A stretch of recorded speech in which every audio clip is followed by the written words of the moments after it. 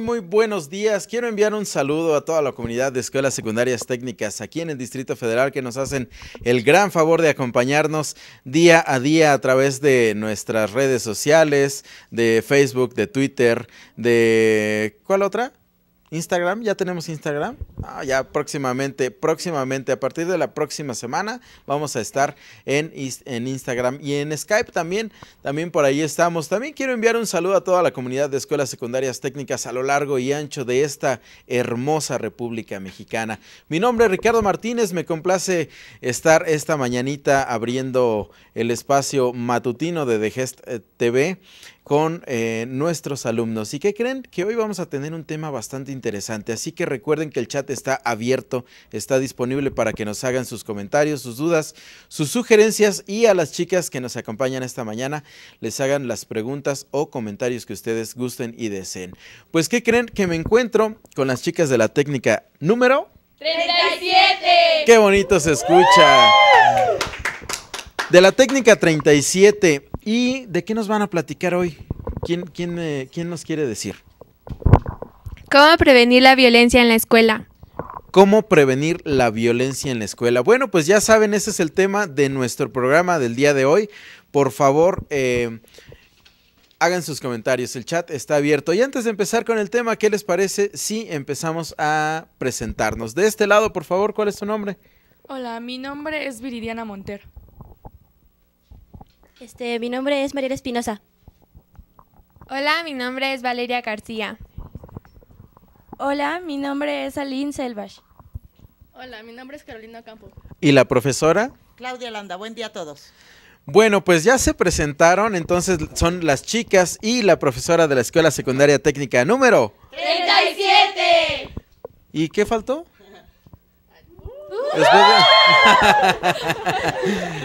Muy bien, bueno, pues son las chicas y la profesora de la técnica número 37. Muchas gracias por estarnos acompañando. Qué bueno que vinieron. Muchas gracias al, señor director, al licenciado Mario, Mario Cortés Salinas por las facilidades otorgadas para eh, que les dio, que les brindó para que ustedes vinieran esta mañana acá.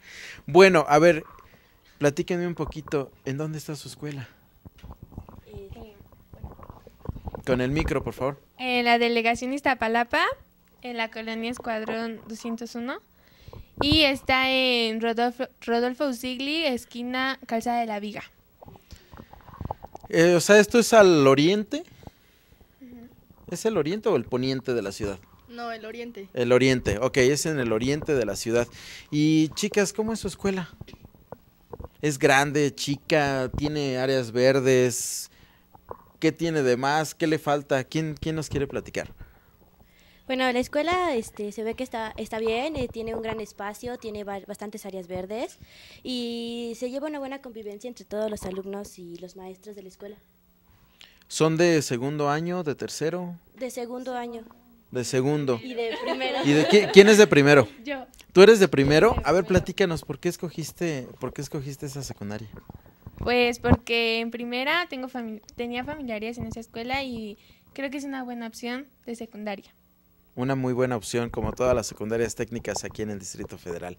Bueno, vamos a entrar en materia. Quedamos que el tema del que vamos a platicar es... ¿Cómo prevenir la violencia en la escuela? ¿Cómo prevenir la violencia en la escuela? ¿Y de qué forma podemos prevenir la violencia en la escuela? Bueno, pues este, lo principal sería este, dialogar con los alumnos y este, con los maestros para que tengan este, más este, conciencia de todo esto que puede causar este, la violencia en la escuela. ¿Y de qué forma se genera la violencia? ¿Empieza en dónde?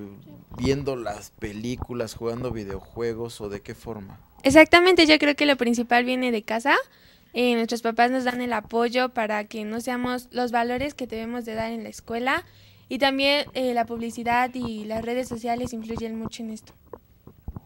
¿A ustedes eh, directamente o indirectamente les ha afectado esto? O sea, ¿la violencia les ha afectado de alguna forma? ¿Lo han visto con algunos compañeros? ¿Lo han visto en la calle? Bueno, yo tengo una compañera en la que le iban, a ella la buscaron para pelearse. O sea, yo puedo decir que ignorándolas o no haciéndoles caso es una manera para no meterte ahí a lo de la violencia, porque a ella la estaban molestando y ella simplemente los ignoró, y, o sea, les dio más coraje a los que los ignoraron que lo que ella fue y se fue a pelear, o sea, simplemente ignóralos y les da más coraje. Y ya, o sea, ya no te intervienes ni nada. ¿Qué podríamos hacer? Bueno, en este caso, lo que, lo que, está, lo que estás comentando, ¿qué podríamos hacer si es insistente y llega el momento que ya no aguantamos y accedemos a lo que ellos quieren? ¿Qué podríamos hacer para, para, para detenerlo nosotros como compañeros? Ir con una autoridad. En este caso, estamos hablando de la escuela. ¿Quién sería la autoridad a la que tendríamos que acudir? Algún docente o algún padre de familia. ¿O algún prefecto también? Y no sé, eh, podríamos llegar y decirle, pasa esto, pero alarmando a la demás gente, ¿es, es- sería eso correcto? Mm, Pues yo creo que no, porque mm, nos está agrediendo a nosotros, pero tampoco hay que espantar a los demás. Primero hay que arreglar nuestro problema y luego ya que se arregle, este, pues quizás hablar con la persona que tengamos más confianza, como dijo mi compañera, para poder arreglar el problema y para evitar que haya más casos como ese. Bien, es muy cierto que la violencia empieza eh, muchas veces en casa, pero ¿y si por ejemplo nosotros no tenemos ese problema de que en nuestra casa sean violentos? ¿De, ¿En dónde más se puede adoptar? Con tu micro, por favor. Eh, también en los videojuegos, vide- redes sociales, todo eso involucra violencia. Entonces los niños desde pequeños los ven y los reflejan en la escuela. ¿La violencia es sinónimo de bullying? Pues sí. O sea, es, prácticamente lo mismo, aunque, Sí. aunque el- el- la palabra acoso y, acoso y violencia pues son diferentes. ¿Sería exactamente lo mismo? Pues sí, porque son similares, porque el bullying as- agreden a las personas y las hacen sentir menos. Y la violencia también, o sea, los golpean, los agreden y hacen sentir mal a la persona, viene siendo lo mismo. ¿En su escuela tienen alguna campaña de, de bullying? eh, o de preven mejor dicho, de, eh, para prevenir el bullying? ¿Sí? A ver, platíquenos qué, qué, qué es lo que hacen en su escuela para prevenirlo. Pues lo principalmente ponen carteles de no te quedes callado, de habla con alguna autoridad y siempre nos pasan a decir los prefectos cuando tienen algún tiempo que si tenemos algún problema que vayamos con alguna autoridad. ¿Qué hacen ustedes así individualmente cuando están atacando a alguno de sus compañeros, sea o no del salón? Eh, bueno, este, ah, cuando intervenimos, bueno, empezamos primero a platicar con la persona para que al menos un tome un poco de conciencia de lo que está haciendo y cómo sentir mal, o sea, que se ponga en el lugar de la persona agredida. Empezamos a platicar con ella, a dialogar con ella y preguntarle que por qué hace eso, principalmente, y ya para que nos, tom- nos tome confianza y empecemos a solucionar este problema con las demás personas que sufren la violencia. Si, si esta persona que está eh, molestando al otro compañero, como tú estás diciendo, llegas y platicas con él, si hay un rechazo, eh, eh, ¿tenemos que insistir? Este, pues yo diría que sí, porque este, si tú insistes, tal vez si él tenga la confianza para decirte, platicarte todo lo que sucede y pueda, este, pueda contarte por qué lo hace y principalmente en dónde lo, lo, lo tiene o ajá, dónde lo aprendió. Bueno, em, tomando en cuenta eh, de que en todas las escuelas pasa, en todos los lugares, muchas veces en los trabajos también, eh, tenemos compañeros violentos. ¿Qué hacer con ellos? ¿Los excluimos de, de los grupos o los integramos? Este, bueno, sería mejor integrarlos, este, porque excluirlos sería más como dice, hace- advertirles que, que, que sean más violentos con las demás personas. Lo mejor sería integrarlos a algún equipo y ayudarlo. A este, por ejemplo, si no le entiende hacia un trabajo, hay que integrarlo y explicarle cómo hacerlo para que él tome más confianza y se dé cuenta de lo que, que lo que está haciendo está mal. Muchas veces eh, tratamos, eh, o algunas personas, algunos compañeros tratan de hacerse los chistosos. Eso en todos los salones pasa. Eh, ¿De qué forma se, hacen eh, los chistosos? Agrediendo, tal vez indirectamente, al- o haciendo eh, alusión a algún defecto que tenga algún compañero.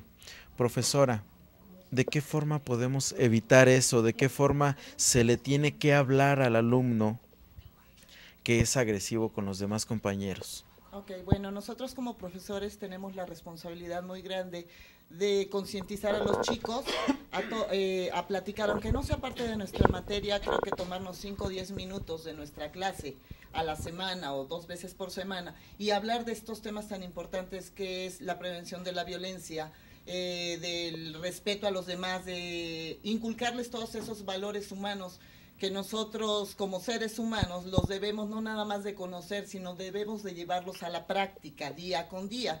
Eh, nosotros como docentes tenemos la oportunidad de trabajar con estos chicos y cuando nosotros detectamos un chico con ciertos problemas de conducta, eh, en mi experiencia creo que lo más prudente es platicar con esta persona, platicar, escucharlos, porque muchas veces estos chicos en su eh, contexto familiar no tienen ese apoyo que deberían de, tener de los padres y algunos de ellos me han comentado que lo hacen por llamar la atención, llamar la atención de los profesores, llamar la atención de sus compañeros.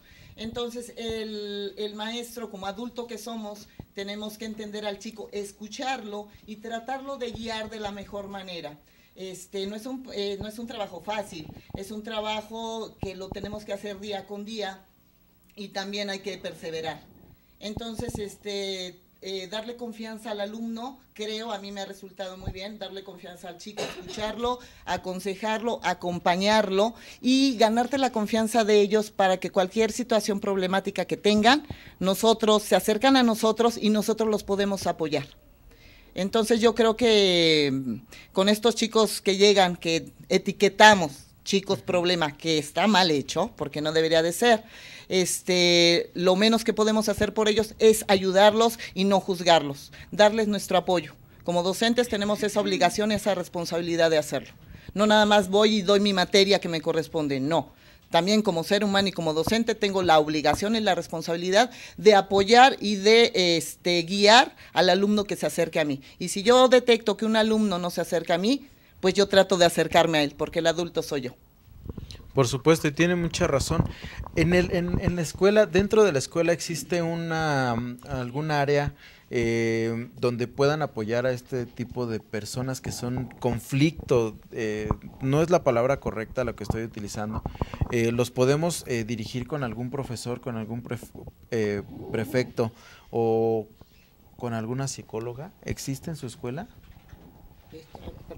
Eh, bueno, tomo la palabra. Este, sí, existe un lugar. eh, anteriormente existía el Departamento de Servicios Educativos que trataba todos estos problemas de los chicos. Ahora, este, todos los maestros somos responsables de nuestros alumnos. Entonces nosotros somos los encargados ya directamente de tratar esos problemas, primero que nada los docentes. Si esos problemas nosotros como docentes no los podemos solucionar, tenemos el apoyo de la psicóloga de la escuela, tenemos el apoyo de nuestro subdirector y también el apoyo de nuestro director. Entonces sí, este, sí es un trabajo que tenemos que hacer todos, tenemos que trabajar de manera conjunta, pero sí, este, un, un departamento específico de los problemas de los chicos no existe en este momento. Ya todos somos este, responsables. Profesora, eso. ¿usted cree que debería haberlo? Yo creo que sí. Yo creo que sí es importante y que debería de existir ese departamento para tratar los asuntos de los chicos. Porque siempre, han, ha, eh, siempre ha sido el docente que está más directamente con los chicos, el primero que se entera de los problemas que existen dentro de un grupo. Cuando se salían los problemas de, de nuestro control, que no tenemos la capacidad para manejarlo, sí los canalizábamos al Departamento de Servicios Educativos. Y yo creo que sí debería de seguir existiendo ese departamento. Es una gran ayuda. Este, ellos saben canalizar a los chicos que tienen problemas en alguna institución que les pueda brindar la ayuda que ellos requieran, hacerles unos cuestionarios para ver cómo están ellos este, psicológicamente, por qué traen esos problemas, ya con una ayuda eh, profesional.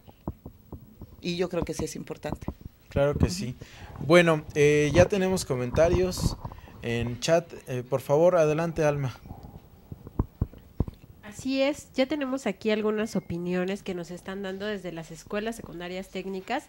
Primero que nada hay que saludar a los que ya están conectados. Está la 107 con Ricardo, Manuel en la 113. La técnica 26 está Galicia y nos están viendo desde la Escuela Secundaria Técnica número 35, 53, 56 y 92. Y precisamente nos dicen desde la técnica 92, las relaciones fuertes y positivas con los familiares, maestros u otros adultos pueden lograr que los jóvenes sientan que alguien tiene interés al respecto. Los adultos pueden servir de modelo y demostrarle al joven que es posible tener éxito en la vida sin recurrir a la violencia. Y nos dicen eh, también un ambiente de confidencialidad que le permita a los jóvenes avisar al personal escolar sobre sus preocupaciones con relación a sus compañeros es importante. Y además eh, es muy importante recalcar que esto no es ser un soplón, sino alguien que protege su seguridad y la de otros. Bueno, eh, pues ahí están los, los, los, comentarios muy, muy acertados. Y eh, comentábamos antes de iniciar el, el programa que vienen algunos padres de familia. Así es. Por favor, eh, padres, si, si pueden eh, pasar, por favor, es muy importante qué bueno que, que, los acompañan, qué bueno que no dejan a, a, sus hijos, exactamente, no los dejan solos. Y, y, quisiéramos hacerles algunas preguntas. Por cierto, viene una, una bebé, va a ser su, su primera aparición y, va a estar padrísimo. Adelante, yo creo que me voy a poner de pie para que por favor la señora se siente. Voy a dar un poquito la, la espalda.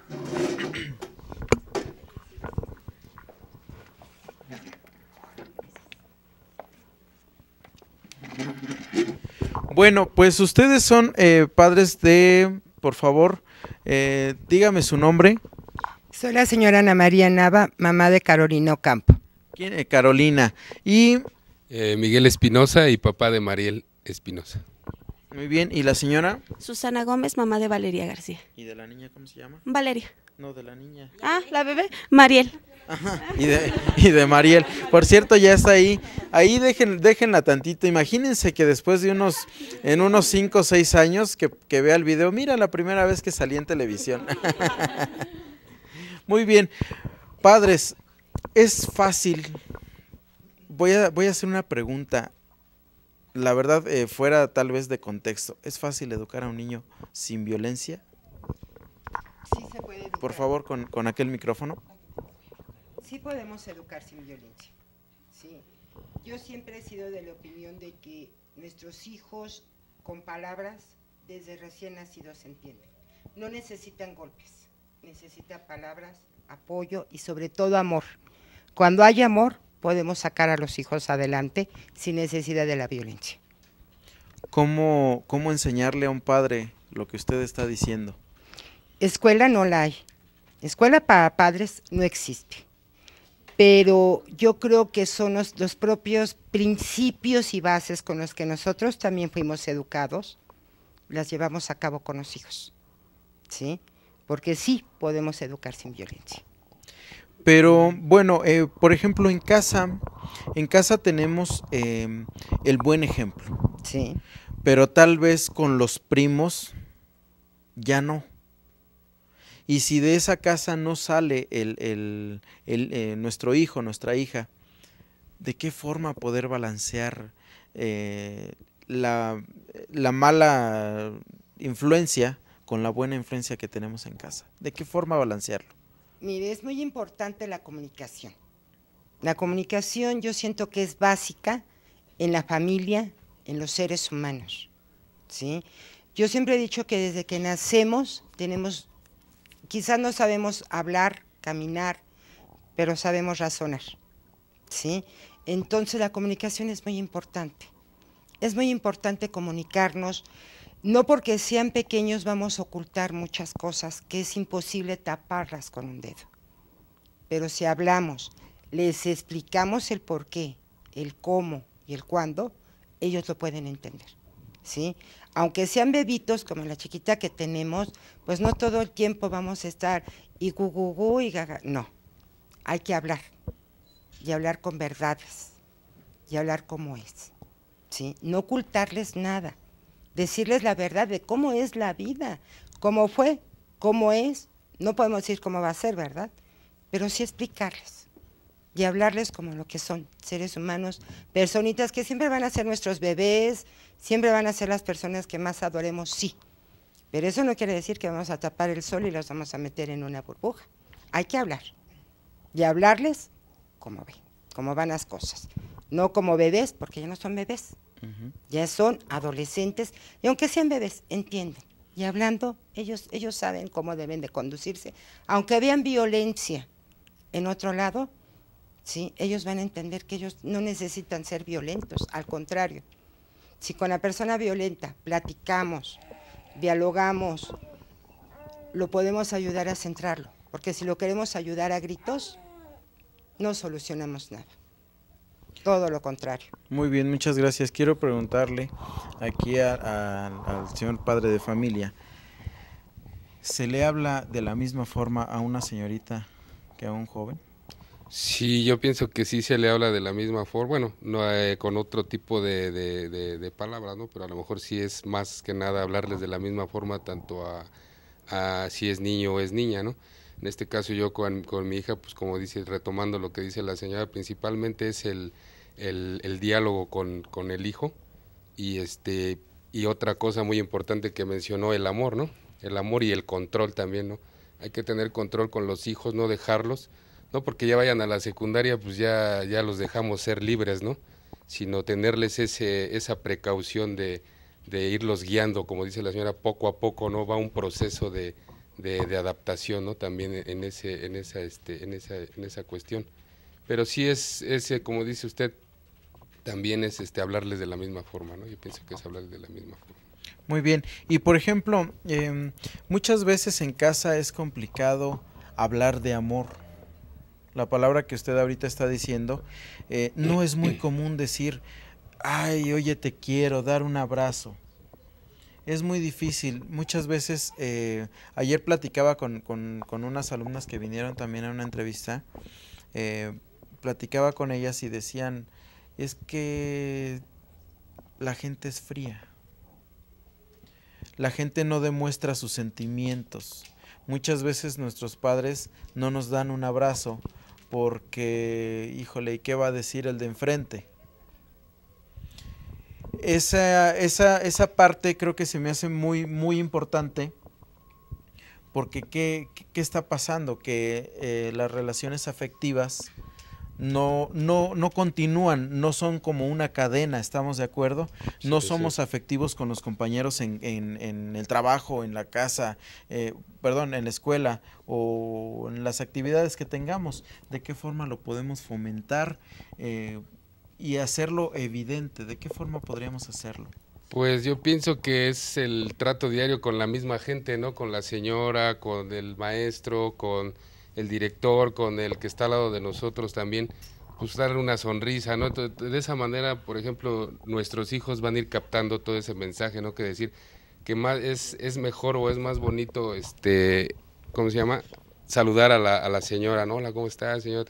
Todo ese trato cordial, ¿no? Entonces todo eso ellos mismos, o a lo mejor hasta otra persona también lo retoma, los trata, ay, mira, esa persona pues no lo voy a tratar de imitar, pero sí voy a tratar de, seguir su, su, su, ejemplo, ¿no? Por decirlo, de alguna forma, que nadie es ejemplo, ¿no? Nadie es ejemplo. Simplemente retomar un poco de la demás gente, porque dicen que desarmas a tu enemigo con una sonrisa, ¿no? Y a que, aquella persona te va a corresponder con esa misma sonrisa. Yo pienso que más que nada es con eso, ¿no? El trato diario con la gente, el trato diario con la gente, más que nada. Muy bien. Y mm, bueno, ahora este quiero preguntarle a a la mamá de Valeria. De Valeria. Es, es, el mismo, es, es, el mismo punto de que decía eh, la señora, de hablarle igual a la bebé que al adolescente.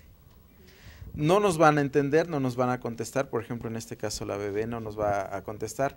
Eh, ¿De qué forma hace usted eh, el ambiente más eh, tranquilo, por así decirlo, en, su casa, para que su hija lo lleve a la escuela? Ok, mire, yo creo que todo es basado en el amor. a todas edades, desde bebés hasta su adolescencia, su crecimiento, incluso cuando ya son más grandes. Yo creo que todos, incluso ya siendo grandes nosotros, necesitamos amor. Todo el mundo necesitamos amor. Yo creo que no existiría nada de violencia si hubiera entre la humanidad más apoyo moral y, y, bastante amor, un, como decían, un saludo cordial, un hola te quiero, porque no es malo decirle a sus compañeros, a sus maestros, ay, hoy te ves muy bonita, amiga, eso no hace a la persona menos. Y yo creo que sí deberían de abrir un taller en la escuela para que los alumnos luego tenemos este los, los alumnos tienen problemas con los papás entonces se van a veces mal a la escuela por x situaciones que pueden pasar en casa y yo creo que como nosotros llegamos al trabajo con un con un familiar y nos este nos desahogamos aunque sea platicando los alumnos no los alumnos a veces no tienen con quién desahogarse porque tampoco le van a contar esas cosas a sus compañeros. Entonces yo yo soy de la idea de que todo es más basado en el amor y deberían de ser algún un taller en que los papás también podamos convivir más con nuestros hijos, con este con nuestros compañeros, no sé, o sea, hacer algo más así. Muy bien, claro que sí. Dejen, déjenme hacerles un, un, comentario. De hecho, en algunas escuelas hay escuela para padres. ¿En su escuela la tienen? Así es, sí la tenemos. Y ustedes están en, en el con el micrófono, por favor. Perdón, sí, sí tenemos escuela de padres, que en Escuela Técnica 37 se imparte los días jueves a las seis y media de la tarde. Eh, yo en lo particular participamos tanto en el taller de padres como en el taller de lectura, también participamos en las guardias eh, a la hora de la salida. En guardias en que en apoyar que los niños salgan, evitar que entre ellos haya roces, haya algún conflicto, y en algunas otras necesidades que la escuela tenga, ¿no? O sea, nuestros hijos van a recibir una educación, nosotros vamos a apoyar también a la escuela como padres. Bueno, eh, lo voy a hacer este ahorita, sí, si ya vamos al chat, nada más déjame hacer este comentario. Eh, me comprometo a invitar a su secundaria técnica al programa de radio de Escuela para Padres. Se lo vamos ahorita a lo, ahorita lo, lo, lo, agendamos, ahorita platicamos claro. con la persona indicada, en este caso con, con Germán este para invitarlos y que vengan a platicar con nosotros de este mismo tema. Claro que sí. ¿Les parece bien? Claro ahorita ahorita parece, lo agendamos y antes de eso, eh, bueno, antes de pasar a otra cosa, eh, vamos al chat, por favor, Alma. Así es, ya tenemos aquí varias participaciones. Eh, nos están dando algunas sugerencias de cómo en las escuelas se puede hacer campañas para evitar la violencia. Por ejemplo, la técnica 92 nos dice que se pueden hacer zonas de crisis localizadas en la que la escuela con un personal profesional pueda trabajar con los jóvenes que ya fueron detectados como violentos. Eh, les mandan también de la 92 saludos y felicitaciones a los alumnos, a la profesora y a los padres de la Escuela Secundaria Técnica 37 por sus comentarios acerca del tema. Eh, nos dicen de la 53, yo creo que en primer lugar la falta de tolerancia y la falta de empatía son los pilares de la violencia. La tarea de evitar la violencia es de los padres y de la escuela. Es muy cierto, es muy cierto. Profesora, por favor.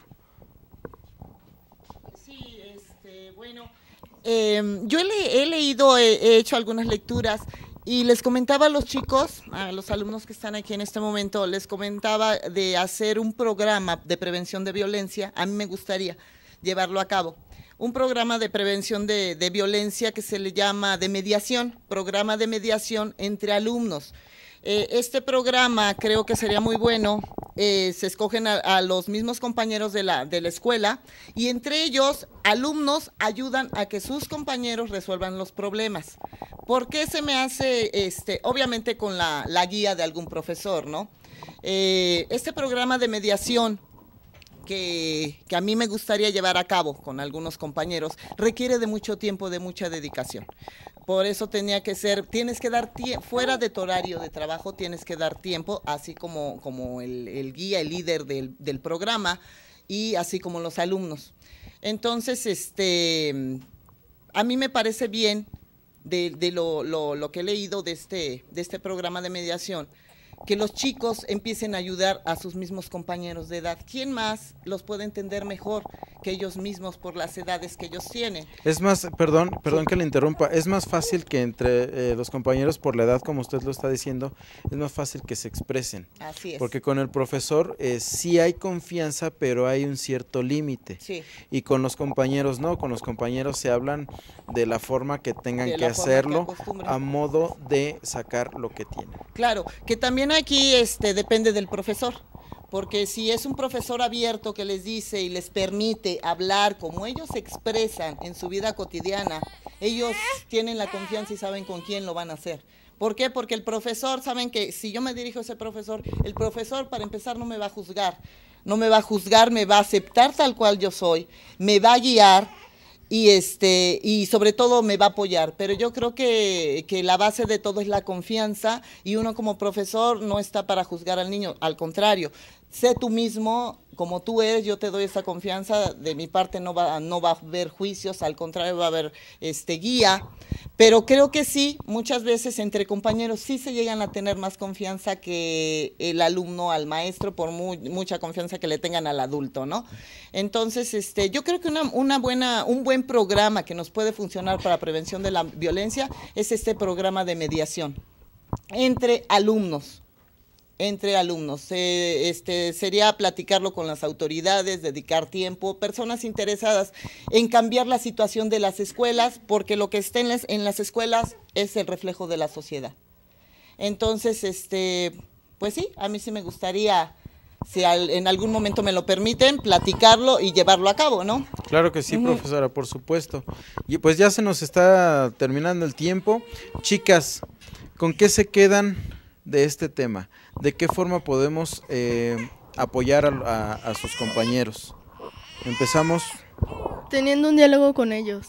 No simplemente decirle, no, no lo hagas y así. Teniendo un diálogo, apoyándolos y confiando en ellos. Que confíen en una persona cuyo edad es la misma que ellos.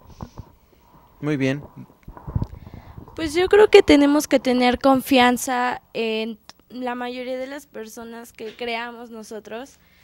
Eh, por ejemplo, los maestros, porque si nos quedamos callados el problema se va a hacer más grande. Que La mejor forma es tolerar sus defectos y si es un niño problemático no nada más estar, estarle diciendo lo que tiene malo, sino también decirle lo bueno que hay en él para que siga adelante. Sí, este, también lo principal sería empezar este, este, apoyándolo por lo que, por lo que es y no por lo que está haciendo, sino que hay que aconsejarle que las cosas que está haciendo están mal y este, y que tenga conciencia de los demás niños. Pues teniendo confianza, hablando con él, decirle por qué lo hace, preguntarle y apoyarlo, nunca dejarlo solo. También hablar con sus papás, porque muchas veces se refleja eso desde casa y lo vienen a demostrar en las escuelas. Y pues apoyarlo, nunca dejarlo. Muy bien, bueno, pues ahí están, ahí están los, eh, los comentarios de nuestras eh, alumnas. ¿Tenemos más chat?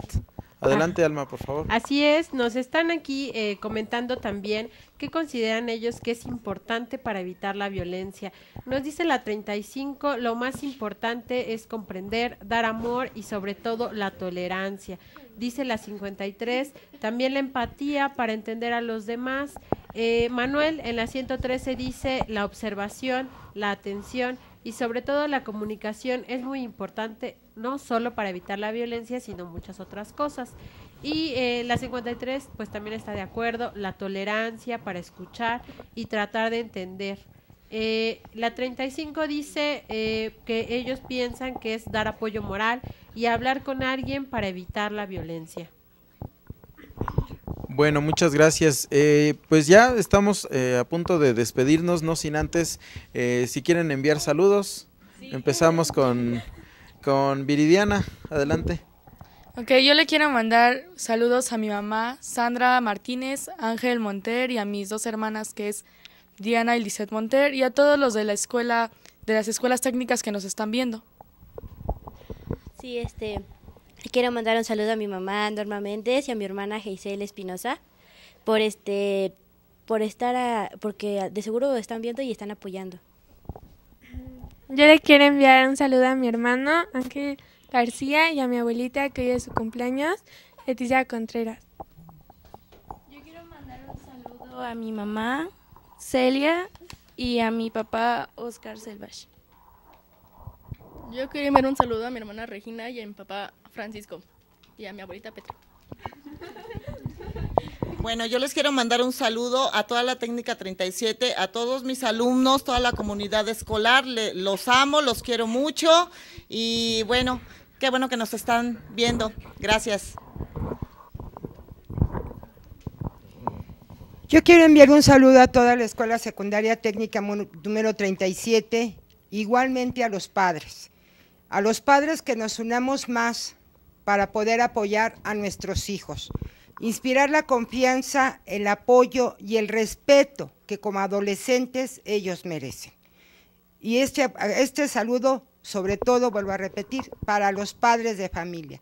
Ojalá y logremos tener unos hijos grandes que así debe de ser, apoyarlos y apoyar a la escuela también, por favor, y que todos estemos participando en la escuela. Yo los invito a la escuela de padres. Apóyenos y vayan, por favor. Gracias.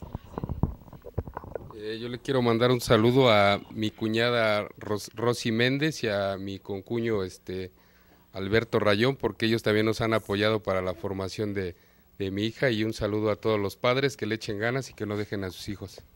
Muy bien, ¿y de este lado? Bueno, pues yo un saludo a todos los chicos, si están pasando, los que están pasando por algún problema de estos, que no se queden callados, que hay instancias que los ayudan y que cuentan con mucha gente que está al lado suyo y recuerden que tienen que esforzarse y ser valientes. Un beso para todos aquellos.